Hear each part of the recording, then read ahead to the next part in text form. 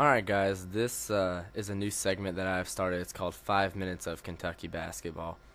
And what this will basically be is reflecting on the last game that we played and showing our strong points, our weak points, what we should have worked on, what we could have done better, you know, and everything else. This one will be a little bit longer than five minutes considering it is the very first episode. But let's go on ahead and just dive right into it and go into our last game against Alabama. Lost our last game against Alabama. Um, because of poor ball movement, because of people wanting to be ball hogs, because people don't want to pass the ball and get open shots or play in transition on defense. You know, and whenever we come out and Archie Goodwin takes 12 shots and only makes 2 the whole game, Ryan Harrow comes out, takes 12 shots, makes 3 the whole game. How are we supposed to win like that? Especially with our free throws. Oh my goodness. You know, we attempted 11 free throws. We made 6 of them. But we only got to the line 11 times in one game. 11 times. Imagine that in 40 minutes going to the line. Not even going to the line 11 times. Attempting 11 free throws.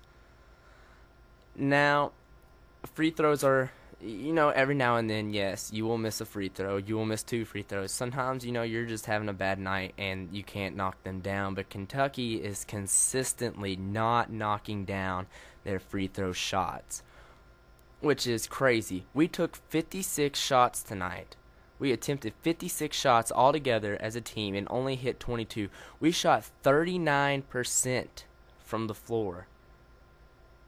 That is just completely inexcusable.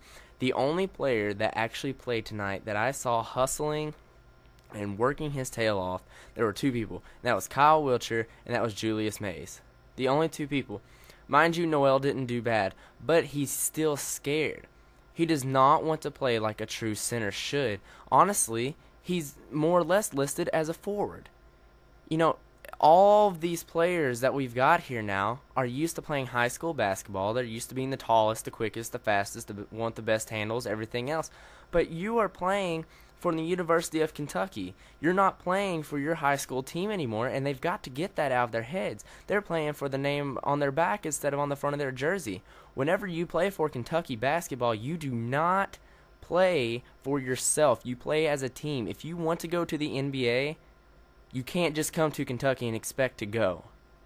There is a lot more to it, and Coach Calipari will tell all the players that. We came in the very first half, we were up 33 to 24 at halftime.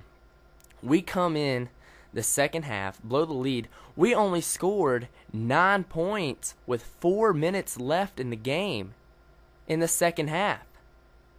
We eventually got to 22 points, but that was just because, you know, we were just getting some lucky shots up, you know, and some crazy fouls were being called, you know, but you can't bank off of that. You cannot bank off of free throws because we cannot hit them this year. We also can't have Archie Goodwin driving into the paint every single time that he has the ball expecting to draw a foul. That is one of our big things is him driving to the paint and not kicking it out, just throwing the ball up, trying to draw a foul, and there's not even anybody around him. We cannot do that. Nerlens Noel, he needs to step up. He needs to be a true center. Everybody has so much glory in him and has so much hype in him. Yes, is his stats good? Yes. His stats are about as good as Anthony Davis, but he's not Anthony Davis. He will never be Anthony Davis. He cannot live up to him. And I feel like he has so much pressure on him to be like, you know, to be like Anthony Davis, and it's just never going to happen. It's not. Maybe with another year, it might. He might develop into a great player. The only main concern that I really have with the team is us blowing a lead after the first half. We play two halves of basketball. We play 40 minutes of basketball. 40 minutes.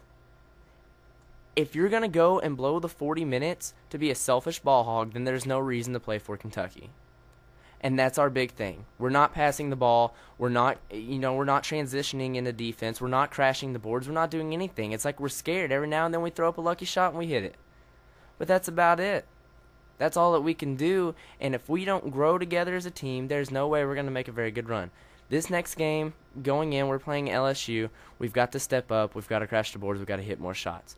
This has been a five minute moment with Kentucky basketball. I hope you enjoyed it.